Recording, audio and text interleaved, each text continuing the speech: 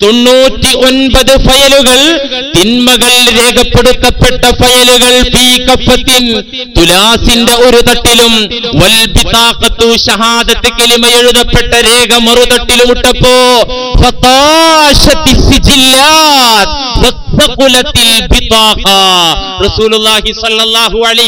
പഠിപ്പിക്കുന്നു. ആ തൊണ്ണൂറ്റി ഒൻപത് ഫയലുകളും ഭാരം കുറഞ്ഞ അവസ്ഥയിൽ പറന്നു പോവുകയും വസഖുലത്തിൽ ബിതാഖ ആ ഷഹാദത്ത് കലിമ രേഖപ്പെടുത്തിയ രേഖ ഭാരമാവുകയും അതിന് മുൻതൂക്കം ലഭിക്കുകയും ഈ മനുഷ്യൻ രക്ഷപ്പെടുകയും ചെയ്തു. അതിനെന്തു വേണം? ഷഹാദത്ത് കലിമ വേണം. ഷഹാദത്ത് കലിമ യസുപതിനായിരം ദിക്കർ ആടിച്ചൊല്ലിയത് കൊണ്ട് അത് നിന്റെ കർമ്മ പുസ്തകത്തിൽ വന്നുകൊള്ളണമെന്നില്ല. അള്ളാഹു പറഞ്ഞല്ലോ ഉദാത്തമായ ഉന്നതമായ ഉന്നതമായ വാക്യമാണ് അതിനോളം മുന്തിയ ഒരു വാക്കില്ല അതിനോളം ഉദാത്തമായ ഒരു വചനമില്ല.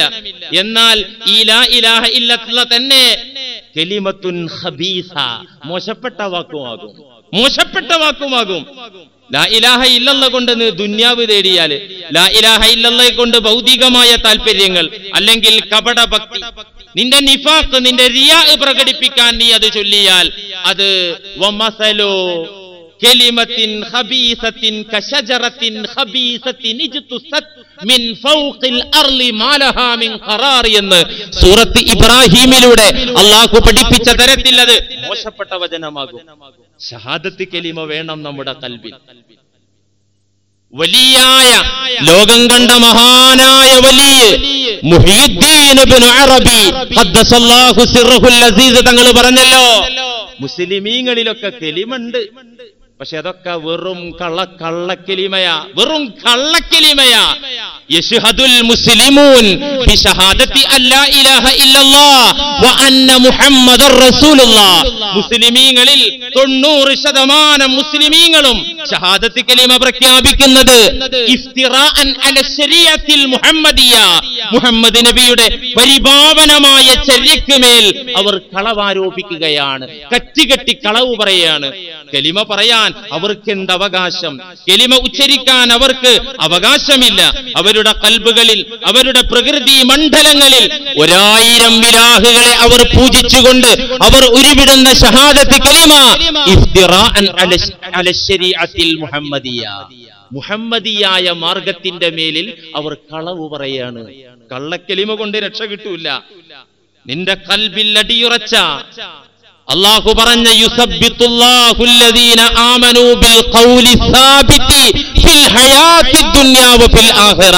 ഇഹത്തിലും പരത്തിലും മനുഷ്യനെ അജഞ്ചലനാക്കി നിർത്തുന്ന കെലിമയുണ്ടല്ലോ. അള്ളാഹു ഉറപ്പിച്ചു നിർത്തുന്ന കെലിമ. ആ കെലിമയുടെ മെമ്പറായാൽ തിന്മ വന്നേക്കാം. വേദനിക്കുന്ന മനസ്സ് നിനക്കുണ്ടെങ്കിൽ അത് തൊണ്ണൂറ്റി ഒൻപത് ഫയലുകൾ നിറച്ചാണെങ്കിലും നിന്റെ കെലിമ കൊണ്ട് നിനക്ക് രക്ഷപ്പെടാൻ സാധിക്കും മോനെ.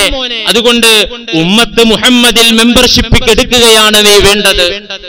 അങ്ങനെ കെലിമയുടെ വക്താവായി ഖുർആന്റെ വാരിസായി നീ നിലനിന്നാൽ നിന്റെ മനസ്സിന്റെ ഇന്നന്നഫ്സല അമ്മാറത്തും ദുഷ്പ്രേരക മനസ്സിൽ നീ വശംവദനായി പലപ്പോഴും തിന്മയിലേക്ക് നീ വഴുതി വീണിട്ടുണ്ടെങ്കിലും നിനക്ക് അവസാനം രക്ഷപ്പെടാൻ സാധിക്കുമെന്ന സുന്ദരമായ ഒരു അധ്യാപനമാണ് നബി സല്ലല്ലാഹു അലൈഹി വസല്ലമ തങ്ങൾ ഈ വാക്യത്തിലൂടെ ഹദീസിലൂടെ പഠിപ്പിക്കുന്നത്. അപ്പോ വിചാരണയില്ലാതെ സ്വർഗത്തിലേക്കും നരകത്തിലേക്കും പോകുന്ന ആളുകളെ പറഞ്ഞു. ഈ ഉമ്മത്തിലെ യഥാർത്ഥ മെമ്പർക്ക് എങ്ങനെയായാലും രക്ഷയുണ്ടെന്ന് ഖുർആൻ കൊണ്ടും ഹദീസ് കൊണ്ടും പറഞ്ഞു. ഇനി വിചാരണയാ. വിചാരണയാ.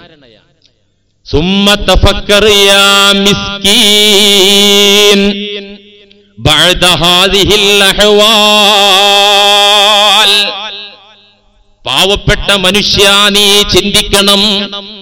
ഈ ഭയാനകമായ അവസ്ഥകളെല്ലാം കഴിഞ്ഞു കടന്ന് നിന്റെ മരണത്തിന്റെ മേഖല നീ വിട്ട് ബർസഖിന്റെ ലോകം കഴിഞ്ഞ് മഷറയിലേക്ക് നീ വന്നിട്ട് ഫീമാ യതവജ്ജഹു അലൈക മിനസ്സുആലി ശിഫാഹൻ മിൻ ഗൈരി തർജുമാൻ. പാവപ്പെട്ട മനുഷ്യ ഈ ഭീകരമായ രംഗങ്ങളെല്ലാം കഴിഞ്ഞ് കടന്നിട്ട് പിന്നെ നീ എത്തിപ്പെടുന്നത് ഉടയ തമ്പുരാന്റെ മുന്നിലാ. ഷിഫാഹൻ മിൻ ഗൈരി തർജുമാൻ. ഒരു പരിഭാഷകന്റെയും ആവശ്യമില്ലാത്ത തരത്തിൽ ഒരു മറയുമില്ലാത്ത തരത്തിൽ ഉടമസ്ഥനായ റബ്ബിന്റെ മുന്നിൽ ചോദ്യത്തിന് മറുപടി കൊടുക്കാൻ തയ്യാറായി നീ ചെന്ന് നിൽക്കുകയാണ്. ആ രംഗം പാവപ്പെട്ടവനെ നീ നിരന്തരം ഓർത്തുകൊണ്ടിരിക്കണമെന്ന് മഹാനായ അബൂ ഹാമിദുൽ പറയാണ്. ഇടക്കിടക്ക് അള്ളാന്റെ മുന്നിൽ ചെന്ന് നിൽക്കുക. എങ്ങനെ? റസൂൽ പറഞ്ഞു നിങ്ങളിൽ ഓരോരുത്തരും അള്ളാന്റെ മുന്നിൽ ചെന്ന് നിൽക്കും. നിങ്ങളുടെയും റബ്ബിന്റെയും ഇടയിൽ ഒരു കർട്ടനുമില്ലാത്ത നിലയിൽ ഒരു മറയുമില്ലാത്ത നിലയിൽ നിങ്ങൾ റബ്ബിന്റെ മുന്നിൽ ചെന്ന് നിൽക്കും. അനിൽ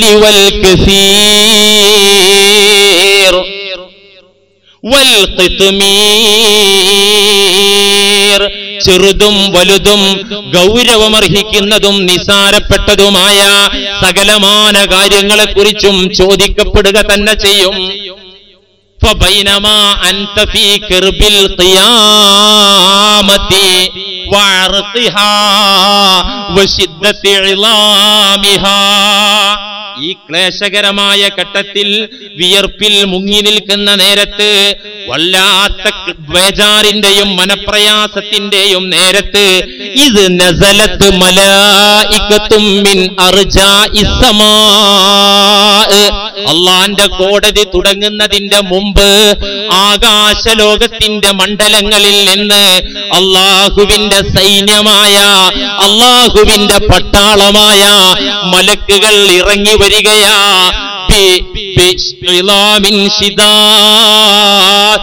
സൂറത്തിൻ ഭീതി ജനിപ്പിക്കുന്ന രൂപത്തിൽ ഭയം അങ്കുരിപ്പിക്കുന്ന രൂപമണിഞ്ഞുകൊണ്ട് അള്ളാഹുവിന്റെ പട്ടാളക്കാർ ആ കോടതിയുടെ ഭാഗത്തേക്ക് ഇറങ്ങി വരികയാണ്. ഗൗരവം സ്ഫുരിക്കുന്ന മുഖഭാവത്തോടെ വല്ലാത്ത കാർക്കശ്യ സ്വഭാവത്തോടെ അള്ളാന്റെ മലക്കുകൾ അവിടെ വരികയാ. എന്തിനാ മല മലക്കുകൾ വരുന്നത്? അന്വേഷണ സംഘാണ് മലക്കുകൾ. ഇന്ന് മനുഷ്യരിൽപ്പെട്ട അന്വേഷണ സംഘത്തെ ഭയന്ന് മാളത്തിലൊളിക്കുന്നത് ആരാ വലിയ വലിയ പാർട്ടി നേതാക്കന്മാര്. ആ അന്വേഷണ സംഘം വരുന്നു എന്ന് കേൾക്കുമ്പോ മാളത്തിലൊളിക്കാര് വലിയ ജനപിന്തുണയുള്ള പാർട്ടിയുടെ നേതാക്കന്മാർ തങ്ങളെപ്പോലത്തെ മനുഷ്യന്മാർ അന്വേഷണ സംഘമായി വരുമ്പോ അവർ പേടിച്ച് മാളത്തിലൊളിക്കുക ഇതങ്ങനത്തെ അന്വേഷണ സംഘമല്ല ഈ അന്വേഷണ സംഘത്തെ സ്വാധീനിക്ക. അല്ലെങ്കിൽ ഭരിക്കുന്ന പാർട്ടിനോട് പറയാ ഇപ്പണി ചെയ്താൽ അഞ്ചു കൊല്ലം കഴിഞ്ഞാൽ തിരിച്ചു കിട്ടും കേട്ടോ എന്ന് പറഞ്ഞാൽ മുട്ട് പറിച്ചിട്ട് തനിക്കാൻ അന്വേഷണ സംഘത്തിനെ പിൻവലിക്കും. നമ്മൾ പരങ്കന്മാരായി ഇതിന്റെ ഇടയിലുള്ള നാട്ടുകാര് വിഡ്ഢികളായി എന്നല്ലാതെ ഒന്നും സംഭവിക്കൂല. ഇതങ്ങനെയല്ല. അള്ളാഹുവിന്റെ അന്വേഷണ സംഘം. അവർ ഗൗരവത്തോടുകൂടെ വസ്തുനിഷ്ഠ യാഥാർത്ഥ്യങ്ങളെല്ലാം വിധിക്കാൻ തക്കം പാർത്തുകൊണ്ട് ആകാശലോകത്ത് നിന്ന് ഇറങ്ങി വരികയാ. എന്താണ് അവരുടെ ഡ്യൂട്ടി?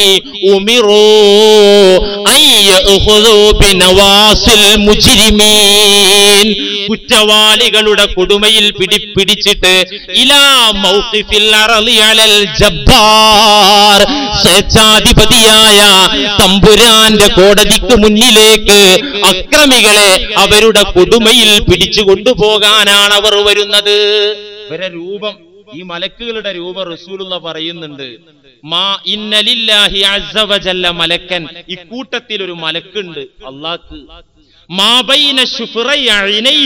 ആ മലക്കിന്റെ രണ്ട് പുരികങ്ങൾക്കിടയിലുള്ള ആ ദൂരം. ഒരു മലക്കിന്റെ രൂപം പറയാണ്.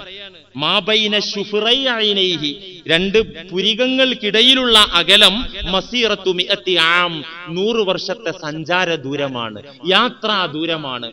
നൂറ് വർഷം ഒരു മനുഷ്യൻ സഞ്ചരിച്ചാൽ എത്തുന്ന ദൂരമാണ്. ആ മലക്കിന്റെ രണ്ട് പുരികങ്ങൾക്കിടയിലുള്ള അകലം നമുക്ക് ഊഹിക്കാൻ പറ്റുന്നുണ്ടോ? നമുക്ക് മനസ്സിൽ കൊള്ളുന്നുണ്ടോ? നമ്മുടെ മനസ്സിൽ കൊള്ളുന്നതിനപ്പുറത്തായിരിക്കും ഈ രംഗമെന്ന് നബി അലിഹി വസല്ലമ തങ്ങൾ പഠിപ്പിക്കുക. ഈ മലക്കുകളുടെ ഇറക്കം ഖുർആനിൽ നമ്മൾ ഓതുന്നുണ്ട്. അള്ളാന്റെ കോടതി കൂടുമ്പോ വനുസിലൽ മല തൻസീലാ. തീല മലക്കുകൾ കൂട്ടം കൂട്ടമായി ഇറക്കപ്പെടും.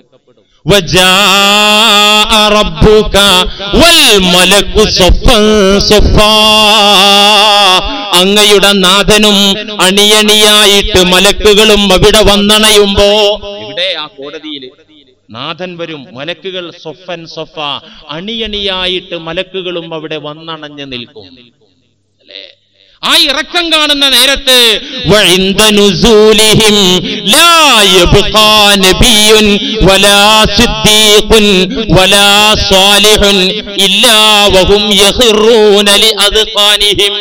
മലക്കുകൾ വരും. കോടതി കൂടിയിട്ടാണല്ലോ ഈ ഹിസാബ് കൂടാതെ സ്വർഗത്തിലേക്ക് പോകുന്നതൊക്കെ.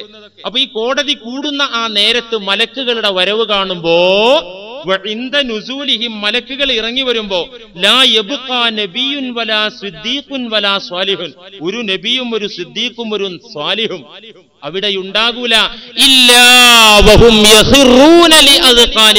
അവർ മുഖം കുത്തി വീഴുമെന്നാണ് ദീന് പഠിപ്പിക്കുന്നത്. അവരുടെ വരവിന്റെ ഗാംഭീര്യം കണ്ടിട്ട് മുഖം കുത്തി വീഴും. എന്ത്? വഹാഫു അന്നഹും ഞങ്ങളും പിടിക്കപ്പെടുമോ? ഈ മലക്കുകൾ അന്വേഷണ സംഘത്തിന്റെ പിടിയിൽ ഞങ്ങളും വിട്ടുപോകുമോ എന്ന ഭയത്താൽ അവർ മുഖം കുത്തി വീഴുന്നതാണ്. എന്നിട്ടെന്താ സംഭവിക്കുന്നത്? സുബാനല്ലാ ചോദ്യം തുടങ്ങിയ സുദ്ദീഖീങ്ങളുടെ മുത്തക്കികളുടെ അവസ്ഥയാണ്. മുജിരിമീൻ. നബിമാരുടെയും ഉന്നതരും ഉന്നതരുടെയും അവസ്ഥ ഈ ഘട്ടത്തിൽ ഇങ്ങനെയാണെങ്കിൽ മുജിരിമീൻ. മോനെ തെമ്മാടിത്തരം കൊണ്ട് ജീവിച്ച നിന്റെ എന്റെ അവസ്ഥ എന്തായിരിക്കും? ആലോചിക്കേണ്ട വിഷയമാണ്. എന്നിട്ട് ചോദ്യം തുടങ്ങുകയാണ്. ചോദ്യം തുടങ്ങുകയാണ്. فوربك لنسألنهم أجمعين عما كانوا يعملون فوربك നബിയെ അങ്ങയുടെ നാഥനെ തന്നെയാണ് സത്യം. പിന്നെ അവിടെ നിൽക്കുന്ന സകലരും ചോദിക്കപ്പെടുക തന്നെ ചെയ്യും. എന്തിനെ കുറിച്ച് അവരുടെ സകലമായ കർമ്മങ്ങളെ കുറിച്ചും ചോദിക്കപ്പെടുക തന്നെ ചെയ്യും. فلنسألن الذين أرسل إليهم ولنسألن المرسلين ഖുർആൻ മറ്റൊരു ഭാഗത്ത് പറയുന്നു فلنسألن الذين أرسل إليهم പ്രവാചകരുടെ സംബോധിതരായ ജനതയോട് ചോദിക്കും എല്ലാ സമുദായങ്ങളോടും ചോദിക്കും വലനസ്അലന്നൽ മുർസലീൻ മുർസലീങ്ങളോടും നാം ചോദിക്കുക തന്നെ ചെയ്യും فلنقصن عليهم بعلم وما كنا غائبين വളരെ വ്യക്തമായ അറിവിന്റെ പിൻബലത്തിൽ വളരെ വ്യക്തമായ ഇൽമിന്റെ തെളിവോടുകൂടെ അവർ ചെയ്ത എല്ലാ കാര്യങ്ങളും അവർക്ക് നാം കിസ്സ പറഞ്ഞു കൊടുക്കും വിവരം കൊടുക്കും എന്തുകൊണ്ട് വമാ കുന്നാ ഗായിബീൻ. അടിമ ഏത് ലോകത്താണെങ്കിലും ഏതൊരു സാഹചര്യത്തിലാണെങ്കിലും ഏതൊരു മേഖലയിലാണെങ്കിലും നാം അവനിൽ നിന്ന് മാറിയിട്ടല്ല ഉള്ളത് അവനിൽ നിന്ന് അകന്നല്ല ഉള്ളത്. അവന്റെ കൂടെ സകലമാന പ്രവർത്തനങ്ങൾക്കും സാക്ഷിയായിട്ട് സസൂക്ഷ്മം നിരീക്ഷിച്ചുകൊണ്ട് ഓരോ മനുഷ്യന്റെ കൂടെയും ഞാനുണ്ട്. അതുകൊണ്ട് വമാ കുന്നാ ഗായിബീൻ. തിരിയാത്തതൊന്നുമില്ല. അല്ല ഒരിക്കലും ആബ്സെന്റ് അല്ല. അല്ല വായിബല്ല എപ്പോഴും ഹാലിറാൻ അതുകൊണ്ട് വ്യക്തമായ തെളിവിന്റെ അടിസ്ഥാനത്തിൽ വ്യക്തമായിട്ട് പറഞ്ഞെടുക്കും ഇവിടെ നബിമാരോട് ചോദ്യം ചോദിക്കുന്ന ഖുർആൻ പറഞ്ഞത്. എന്തിനാ നബിമാരോട് ചോദിക്കുന്നത്? നബിമാരുടെ കുറ്റങ്ങളെ കുറിച്ച് അറിയാനല്ല. ചില ആൾക്കാർക്ക് ഇത് കേൾക്കേണ്ട താമസം. നബിയൊക്കെ ഒരു ദിവസം നൂറിലധികം തവണ അസ്തഫിറുള്ള പറഞ്ഞു തോബിയൊക്കെ ചെയ്യുമ്പോ കുഴപ്പമില്ലാത്ത കയ്യിലിരിപ്പൊക്കെ നബിക്ക് ഉണ്ട് നബി ഒരു സാധാരണ മനുഷ്യനുമാണ്. അതുകൊണ്ട് തെറ്റൊക്കെ നബിക്ക് വന്നിട്ടുണ്ട് ചില ആളുകൾ മണ്ടത്തരം മനസ്സിലാക്കിയാൽ ഇത് കേട്ടിട്ട്? നബിമാരോടൊക്കെ ചോദിക്കുവോ? ഇങ്ങനെ ചോദിക്കാതിരിക്കുക അവർ സാധാരണക്കാരല്ലേ? തെറ്റുമ്മിണി ചെയ്തതല്ലേ? അങ്ങനെ മനസ്സിലാക്കണ്ട. എന്താ ചോദിക്കുന്നത് ഈ വക ആൾക്കാർ തെറ്റിദ്ധാരണയിൽ പെടാതിരിക്കാൻ ഈ വക ജനങ്ങൾ അബദ്ധത്തിൽ വീഴാതിരിക്കാൻ എന്താ ചോദിക്കുന്നത് എന്നുള്ള പറഞ്ഞിരുന്നുണ്ട് വലനസ്അലന്നൽ മുർസലീൻ തീർച്ചയായും നാം നബിമാരോട് ചോദിക്കും. എന്താ ചോദിക്കുന്നത്? അവരുടെ അപരാധങ്ങളെ കുറിച്ചല്ല ഉത്തരവാദിത്തത്തിൽ വന്ന വീഴ്ചയെ കുറിച്ചല്ല അവർ ചെയ്ത തിന്മകളെ കുറിച്ചല്ല നബിമാരോട് ചോദിക്കുന്നത് എന്താ അവരുടെ ഉമ്മത്ത് എങ്ങനെയാണ് പ്രതികരിച്ചത്? ഈ സത്യത്തിന്റെ കൈത്തിരിയുമായി ചെന്നപ്പോ എങ്ങനെയാണ് സമുദായം പ്രതികരിച്ചത്? മറുപടി തന്നത് ഇതാണ്. ഇതാണ് വിഷയം. ويوم يجمع الله الرسل فيقول ماذا أجبتم قالوا لا علم لنا إنك أنت علام الغيوب നബിമാരോടുള്ള ചോദ്യം നബിമാരുടെ മറുപടി എന്താ ചോദിക്കുന്നത് നിങ്ങൾ ആളുകൾ എങ്ങനെ ഉണ്ടായിരുന്നു യൗമ യജ്മഉല്ലാഹു റുസുല അല്ലാഹു മുർസലുകളെയെല്ലാം ഒരുമിച്ച് കൂട്ടുന്ന ദിവസത്തിൽ യഖൂലു അവരോട് ചോദിക്കും മാതാ ഉജിബുത്തും എങ്ങനെ ഉത്തരം കിട്ടിയത്? നിങ്ങൾ ലാ ഇലാഹ കൊണ്ട് പോയപ്പോ എങ്ങനെയാ നാട്ടുകാർ ഉത്തരം നൽകിയത്? ആലു അവർ പറയുന്ന മറുപടി. പടച്ചവനെ ഞങ്ങൾക്ക് യാതൊരു അറിവുമില്ല. ഇന്നക അന്ത അല്ലാമുൽ ഗുയൂബ്. എല്ലാ അദൃശ്യങ്ങളും വൈബുകളും നന്നായി അറിയുന്നവൻ നീയല്ലയോ? ഞങ്ങൾക്കൊന്നും അറിയില്ല. എന്തേ ഈ നബിമാർക്ക് അറിയൂലേ? എങ്ങനെയാണ് ഉമ്മത്ത് ഇവരെ എതിരേറ്റത് എന്ന് അവർക്ക് അറിയൂലേ? മനുഷ്യൻ ചെയ്ത കർമ്മങ്ങൾ വരെ ഓർമ്മ വരുന്ന മേഖല മഷറ എന്നിട്ട് നബിമാർക്ക് അറിയാതിരിക്കാൻ പറ്റുമോ മുഫസ്സിറുകൾ പറഞ്ഞു ആ ഭയ ഭയത്താൽ അവിടുത്തെ ആ രംഗത്തിന്റെ ഗൗരവത്താൽ അവരെല്ലാം മറന്നു പോവാണ്. വഹും വഖ്തി. അവർ ഈ പറയുന്ന വാക്ക് ആ സാഹചര്യത്തിൽ അവർ ഞങ്ങൾക്കൊന്നും അറിയൂല എന്ന് പറയുന്നതിൽ അവർ സത്യസന്ധന്മാരാ. എന്തുകൊണ്ട്? എന്തുകൊണ്ട്? ഇത് ഉഖൂൽ. അവരുടെ ബുദ്ധി പറന്നു പോയിരിക്കുന്നു. അവരുടെ വിവേചന ശക്തി ഇല്ലാതെയായി പോയിരിക്കുന്നു. അള്ളാഹു ഉടനെ തന്നെ കരുത്തു കൊടുത്തു അവരുടെ പ്രവാചകന്മാരുടെ ബുദ്ധി. എന്നിട്ട് ആദ്യം ഷെയ്ഖുൽ അംബിയ നൂൻ നൂഹ് നബി അലൈഹി സ്വലാമിനെ വിളിച്ചു കൊണ്ടുവന്ന് ചോദിക്കും ഞാൻ ഏൽപ്പിച്ച ഉത്തരവാദിത്തം എങ്ങനെ ഉണ്ടായിരുന്നു? നടപ്പിലാക്കിയില്ലേ? കാലൻ അഹമ്മദെ എങ്ങനെ ഉണ്ടായിരുന്നു ജനങ്ങളുടെ പ്രതികരണം? മറുപടി പറയും. അങ്ങനെ ഓരോ നബിമാരെയും കൊണ്ട് ഈസാ നബി അലി ഇസ്ലാമിനെ കൊണ്ടുവന്നിട്ട് ചോദിക്കും "അ അന്ത ഖുൽത ലിന്നാസി ഇത്തഖിദൂനി വ ഉമ്മി ഇലാഹൈനി മിൻ ദൂനില്ലാ? അല്ല ഈസാ താങ്കൾ ജനതയോട് പറഞ്ഞുവോ? താങ്കളാണോ നാട്ടുകാരെ പഠിപ്പിച്ചത്? ഇത്തഹിദൂനി വ ഉമ്മി ഇലാഹൈൻ എന്നെയും എന്റെ മാതാവിനെയും നിങ്ങൾ ദൈവങ്ങളാക്കണമെന്ന്. താങ്കൾ പറഞ്ഞിട്ടാണോ ജനങ്ങൾ ദൈവങ്ങളാക്കിയത്? അല്ല ചോദിക്കും. ഈ ചോദ്യത്തിന്റെ മുന്നിൽ പരിഭ്രമിച്ച് ധാരാളം നാളുകൾ ഈസാ നബി അലിഹിസലാം പെട്ടെന്ന് മറുപടി കൊടുക്കാതെ നിൽക്കുമെന്നും ഹദീസിൽ കാണാം. മറുപടി കൊടുക്കും. ശേഷം അന്ത്യപ്രവാചക തിരുമേനി സല്ലല്ലാഹു അലൈഹി വസല്ലമ തങ്ങളെ നമ്മുടെ കാര്യത്തിൽ സാക്ഷി നിൽക്കാൻ കൊണ്ടുവന്ന് നിർത്തും. ഈ സത്യം വിവരിക്കുന്ന ആയത്ത് കേട്ടപ്പോൾ തന്നെ മുത്തുറസൂൽ പൊട്ടിക്കരഞ്ഞില്ലേ? ഇമാം ബുഹാരിയും മുസ്ലിമും ഉദ്ധരിച്ച അതേ മുത്തഫഖുൻ അലൈഹിയായ ഹദീസിലുണ്ടല്ലോ. അള്ളാന്റെ കോടതിയിൽ ഈ സമുദായത്തിന് സാക്ഷി നിൽക്കാൻ വേണ്ടി പുണ്യനബിയെ കൊണ്ടുവന്ന് നിർത്തുമെന്ന ആശയം പഠിപ്പിക്കുന്ന ആയത്ത് കേട്ടപ്പോൾ തന്നെ നബി കരഞ്ഞില്ലേ അനിബിനി മസ്ഊദിൻ റളിയല്ലാഹു അൻഹു قال قال قال للنبي صلى الله عليه وسلم സ്വഹാബി വര്യനായ ഇബ്നു മസ്ഊദ് തങ്ങൾ പറയാണ് എന്നോട് ഒരിക്കൽ നബി തങ്ങൾ പറഞ്ഞു ഇഖ്റ അലയ്യൽ ഖുർആൻ ഇബ്നു മസ്ഊദേ ഖുർആൻ എനിക്കൊന്ന് ഓതി കേൾപ്പിക്ക്. നീ ഒന്ന് ഖുർആൻ ഓത് ഞാൻ കേൾക്കട്ടെ. ഉൽത്തു ഞാൻ പറഞ്ഞു അഖ്റഉ അലൈക വഅലൈക ഉൻസില യാ റസൂലല്ലാഹ് നബിയെ ഞാൻ അങ്ങേക്ക് ഓതി കേൾപ്പിക്കേ. അങ്ങയുടെ മേലിലല്ലേ ഖുർആൻ ഇറങ്ങി കിട്ടിയത്? അങ്ങല്ലേ ഈ വചനങ്ങൾ ഞങ്ങൾക്ക് ഓതിപ്പടിപ്പിച്ചു തന്നത്? അങ്ങനത്തെ അങ്ങയുടെ മേലെ അങ്ങേക്ക് കേൾക്കാൻ പാകത്തിൽ ഞാൻ ഓതിത്തരികയോ അതിന്റെ ആവശ്യം എന്തുണ്ട് നബിയേ? അങ്ങേക്ക് ഇറങ്ങി കിട്ടിയ ഖുർആൻ ഞാൻ എന്തിനാ ഓതിത്തരുന്നത്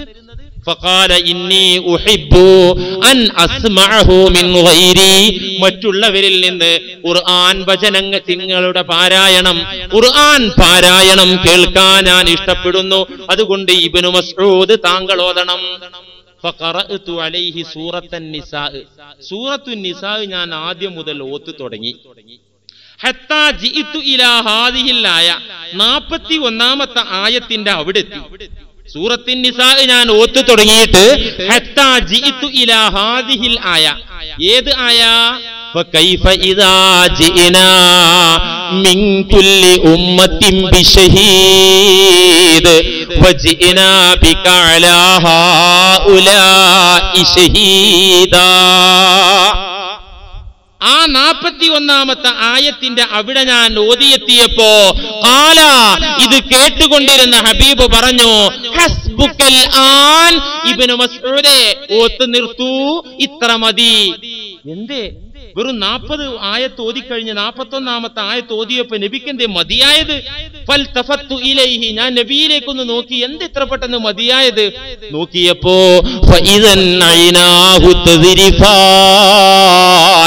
പുണ്യനബിയുടെ രണ്ട് കണ്ണുകളും നിറഞ്ഞൊഴുകുകയാ.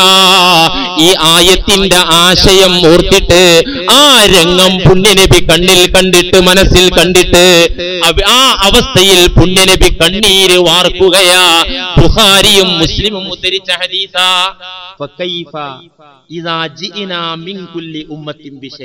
നബിയേ ഒരു രംഗം എങ്ങനെയുണ്ടാകും? ഓരോ സമുദായത്തിന്റെ കാര്യത്തിലും അവരുടെ നബിയെ അവരുടെ നബിമാരെ നാം സാക്ഷികളാക്കി കൊണ്ടുവന്ന് നിർത്തുമ്പോ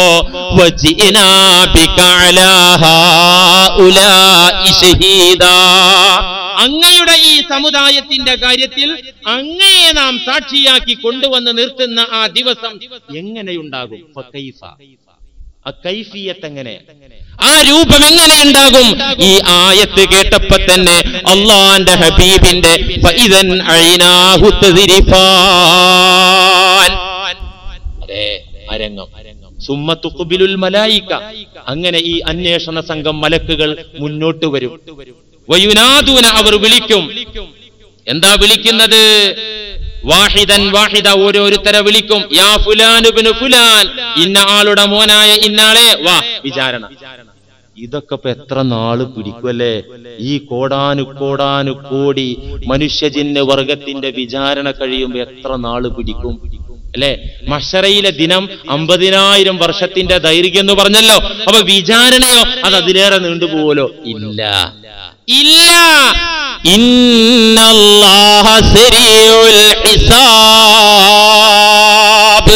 അള്ളാഹു വളരെ പെട്ടെന്ന് വിചാരണ പൂർത്തീകരിക്കുന്നതാകുന്നു. ഇന്നല്ലാഹ നിശ്ചയം അള്ളാഹു ഹിസാബ്. സൂറത്ത് ആലി ഇമ്രാന്റെ അവസാന ഭാഗത്ത് വല്ലാഹു സരീഉൽ ഹിസാബ് സൂറത്ത് നൂറിൽ വേറൊരു ഭാഗത്ത്. അല്ല പെട്ടെന്ന് വിചാരണ തീർക്കുന്നു. മുഫസ്സിറുകൾ ആ ഭാഗത്ത് പറയുന്നു നിസ്ഫുന്നഹാർ മതി. നിസ്ഫുന്നഹാർ ഒരു പകലിന്റെ പകുതി. മിൻ അയ്യാമി ദുന്യ. ദുന്യാവിലെ ഒരു ദിവസത്തിന്റെ ഒരു പകലിന്റെ പകുതി. ഏതാണ്ട് ആറ് മണിക്കൂർ മതി അള്ളാഹുവിന് ഈ ചരാചരങ്ങളുടെ ഈ മുക്കല്ലഫീങ്ങളുടെ എല്ലാവരുടെയും വിചാരണ തീർക്കാൻ. ഹിസാബ്. എങ്ങനെ ഇന്നിപ്പോ നമ്മളെ കോടതിയിലെ കേസ് ഒരു സിവിൽ കേസൊക്കെ എത്ര കൊല്ല ഒരു മനുഷ്യന്റെ ആയിസ കണക്ക് ജഡ്ജിമാരുടെ അലസത ഒരു ഭാഗത്ത്. പിന്നെയോ ശിക്ഷ എന്ന് പറഞ്ഞാൽ തന്നെ ഇത് വിളിച്ച് നീട്ടിയേക്കലാ ശിക്ഷ. നാളെ വാ അടുത്ത മാസം ഒന്നാം തീയതി വാ പിറ്റത്തെ ഇതന്നെ- ശിക്ഷ അല്ലെ? കോടതികളിലൊക്കെ ലക്ഷക്കണക്കിന് കേസല്ലേ കെട്ടിക്കിടക്കുന്നത്? അത് ഒരാളുടെ ഒരു കേസ്.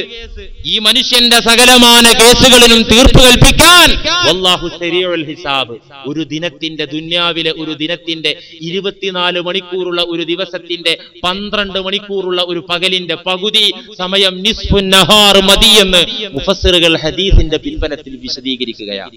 ഇൻഷാ അള്ളാഹ് കഴിഞ്ഞിട്ടില്ല. സമയം ഒരുപാട് പോയി. ഇനി പറയാൻ നേരല്ല നമുക്ക് വിചാരണയുടെ ബാക്കി ഭാഗങ്ങൾ അടുത്ത ആഴ്ച പറയാനുണ്ട്. ഇനിയിപ്പോ ആകത്തുക പറഞ്ഞത് ഉമ്മത്ത് മുഹമ്മദിൽ മെമ്പർഷിപ്പ് എടുക്കുക. കെലിമയുടെ വക്താവാകുക. ഇന്നമാ ബുഇസ്തു മുഅല്ലിമ എന്ന് പറയുന്ന പാരമ്പര്യത്തിൽ മെമ്പറാകുക.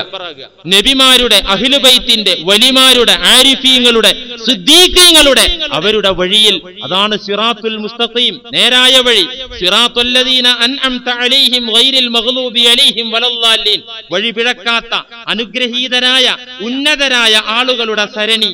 ആ സരണിയിൽ നീ മെമ്പറായാൽ നബിമാരുടെ വലിമാരുടെ സിദ്ദീഖീങ്ങളുടെ ആ സരണിയിൽ മെമ്പറായി. കെലിമ ഉറപ്പിച്ചു പിടിച്ചാൽ ഈ നിലയ്ക്ക് രക്ഷപ്പെടാൻ പറ്റും. അള്ളാഹു സുബാനഹുവ താഴെ തോഫീക്ക് ചെയ്യട്ടെ. വിചാരണയുടെ ബാക്കി ഭാഗങ്ങൾ എങ്ങനെയാ വിചാരണയുടെ രംഗമൊക്കെ നല്ല സുന്ദരമായിട്ട് ഖുർആൻ വചനങ്ങളിൽ അള്ളാഹു വിവരിച്ച് തന്നിട്ടുണ്ട്. അതൊക്കെ പഠിക്കണം. പഠിച്ചാൽ മാത്രം പോരാ. ആ പഠിച്ചത് കേൾക്കുമ്പോ ഒരു ഫീലിംഗ് വേണം. മുത്തുറസൂലിന് വരെ അല്ലെ? ആ രംഗം ഓർത്തിട്ടുണ്ടായ ഫീലിംഗിൽ നമ്മൾ വല്ല മുളകും തേക്കേണ്ടി വരും കണ്ണിൽ. ഒരു ഇച്ചിരി കണ്ണുനീര് വരണമെങ്കിൽ അല്ലെ?